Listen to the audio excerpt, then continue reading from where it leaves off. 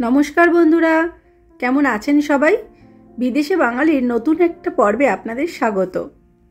আজ শনিবার, সকাল এখন ওই সাড়ে সাতটার মতো বাজে, আর নববর্ষের দিনে সকাল থেকে আকাশের চেহারা দেখুন, পুরো মুখ ভার করে রয়েছে আকাশ। মনে হচ্ছে এক্ষুনি বৃষ্টি নামবে। আজকে ভাবলাম বিকেলে বাচ্চাগুলোকে নিয়ে একটু খেলতে যাব পার্কে, কিন্তু তার হবে না মনে হচ্ছে। গত কয়েকটা দিন ওয়েদার বেশ ভালোই ছিল রোদ ঝলমলে ছিল, যদিও টেম্পারেচার একটু বেড়েছিল, কিন্তু আজ সকাল থেকে আবার আকাশ পুরো মেঘলা। এখানে তাই দেখি, জানেন, দু তিন দিন যদি একটু রোদ ওঠে, গরম পড়ে, তারপরেই আবার মেঘ করে দু তিন দিন বৃষ্টি শুরু হয়ে যায়।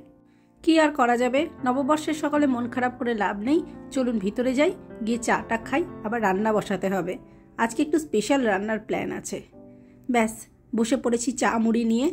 রোজ সকালে আমরা লিকার চাই খাই তবে আজকে একটু স্পেশাল নববর্ষের দিন বলে কথা, তার উপর আবার উইকেন্ড আজকে দুধ চা, মুড়ি মাখা আর সাথে এবিপি আনন্দ। উফ, নববর্ষের সকালটা পুরো জমে গেছে একদম। বিদেশের একা একা জীবনে আর কি আছে বলুন? পরিবার, পরিজন ছেড়ে এইটুকুর মধ্যেই নিজেদের আনন্দ খুঁজে নেওয়া। এই যে, আমাদের টুকুস বুড়ি উঠে পড়েছেন। আর রোজ সকালে উঠেই তাকে একটু করে মায়ের আদর খেতে হয়, না হলে তার দিন শুরু হয় না। আর একে দেখুন, সকাল সকাল উঠেই চলে এসছে রান্নাঘরে। ওরা দুটো, তিনটে করে পেঁয়াজ দিয়ে দে। তুই তো রান্না শিখে গেলি। এবার আমি একা একা ইন্ডিয়া চলে যাব। আর তোর সে বাবাকে আর বোনকে রান্না করে খাওয়াবে, তাই তো? কেন পারবি না? একা একা? খেলবি? খেয়ে নিবি, রান্না করে। বাবাকে আর বোনকে দিবি না? দারুণ বুদ্ধি। কি হচ্ছে আপনার সকাল সকাল? সকাল উঠে খেলতে বসে গেছো? পড়াশোনা করবে না? কখন বসবে পড়তে? রাত্রেবেলা? আর সারা সকাল খেলবে? আর খাবারটা শেষ করো? খাবে না? ওকে। ওটা কি পড়াচ্ছ? পুতুলকে জামা? অত বড় জামা পুতুলটার? র্যাপ করছ কেন? বেবি নাকি?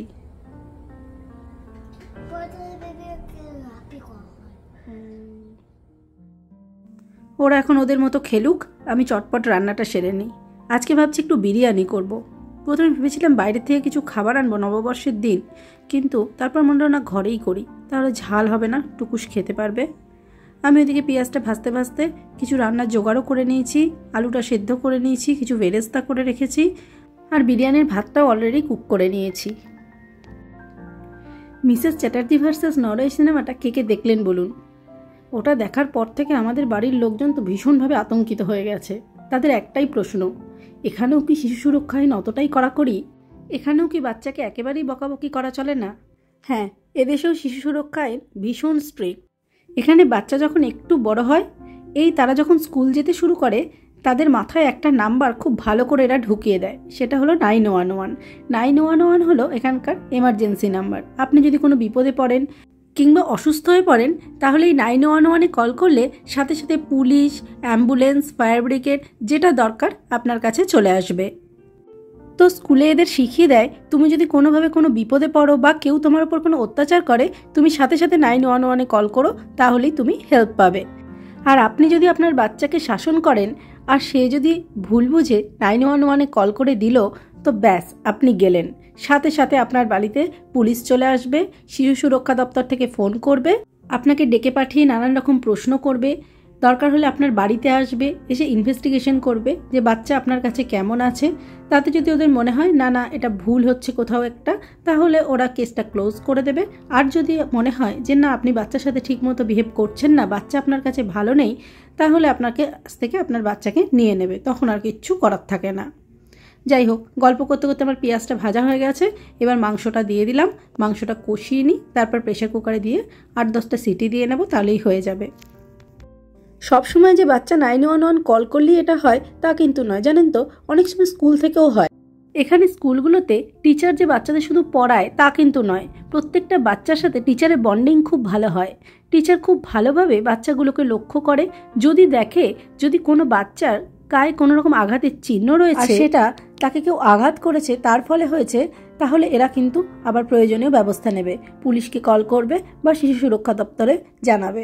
তখন আবার ওই একই প্রসেস চলুন, মটনটা ততক্ষণ এদিকে কষানো হোক, আর আমি রায়তাটা করে ফেলি। এবার জানেন তো, অনেক সময় ডক্টরের অফিস থেকেও কিন্তু এই খবরগুলো চলে যায়। এখানে তো আপনারা জানেন, প্রত্যেক বছর প্রত্যেকটা মানুষকেই একবার করে ডক্টরের কাছে অ্যানুয়াল চেক যেতে হয়।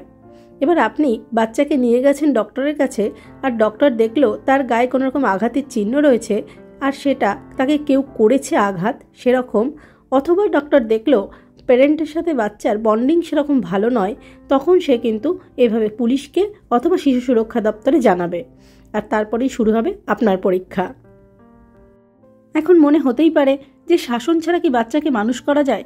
এখন তাদের শাসন করা হবে, তাদের শেখার সময়, তাদের শেখানো হবে, তবেই তো তারা ঠিকঠাক মানুষ হবে। আমরাও তো ছোটোবেলায় বাবা মায়ের কাছে কত মার বকা খেয়েছি বলুন।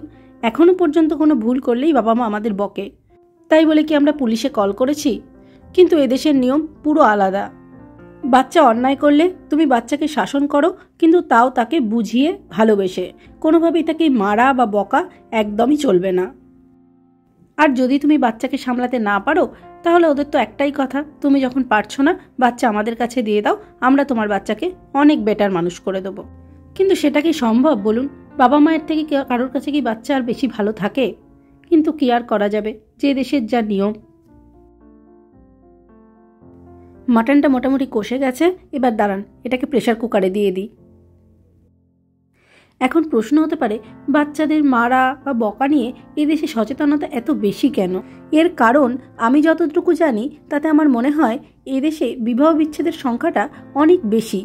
বাচ্চারা ছোটোর থেকেই তার স্টেপ মাদার বা স্টেপ ফাদারের কাছে বড় হয়, সেক্ষেত্রে তারা অত্যাচারিত হয়, তাদের সেই স্টেপ প্যারেন্টসের কাছ থেকে বা ঠিকমতো ভালোবাসা পায় না। তাই বাচ্চাদের শিখিয়ে দেয়, যদি তোমার বাড়িতে কোনো রকম কোনো প্রবলেম হয়, সাথে সাথে তুমি নাইন ওয়ান ওয়ান কল করবে।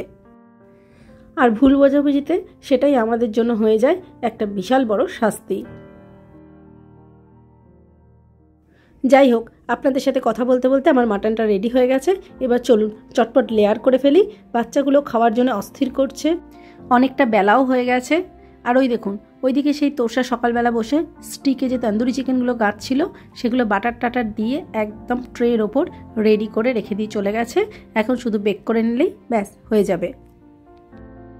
আজ ভাবছি তান্দুরি চিকেন আর বিরিয়ানি একসাথে ওভেনে বসিয়ে দেবো। অত বড় ওভেনটা যখন চলবে তান্দুরির জন্য, তাহলে বিরিয়ানিটাও ওভেনেই করে নিলে ভালো হবে। আর এই ট্রেতে করলে কি সুবিধা হয় বলুন তো? বিরিয়ানিটা এত সুন্দর ছড়িয়ে থাকে না, যে যখন সার্ভ করা হয়, বিরিয়ানিটা দিতে খুব সুবিধা হয়। চালগুলো ভেঙে যায় না বা আলু, মাংস এগুলো আস্ত থাকে। দেশে থাকতে অবশ্য আমি বিরিয়ানি গ্যাসেই করতাম। ওখানে তো এত বড় ওভেনের সুবিধা নেই। এখানে প্রত্যেকটা গ্যাসের সাথেই বিশাল বড় বড় একটা করে ওভেন দেওয়া থাকে। তাই ওভেনেই এই বেকিং, গ্রিল বা বিরিয়ানির দম দেওয়ার এই প্রসেসগুলো করতে অনেক সুবিধে হয়। ব্যাস, একটা লেয়ার হয়ে গেছে। এবার ওপর থেকে একটু বিরিয়ানি মশলা আর একটু ঘি ছড়িয়ে দিয়ে আবার নেক্সট লেয়ারটা করে দেব, তাহলেই হয়ে যাবে।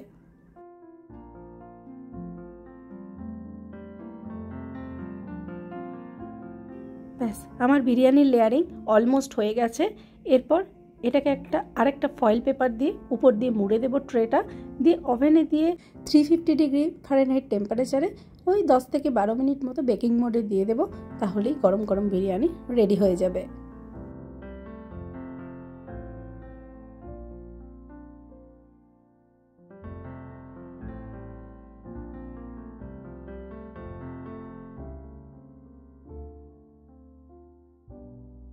ব্যাস, আমাদের গরম গরম বিরিয়ানি আর কাবাব রেডি হয়ে গেছে।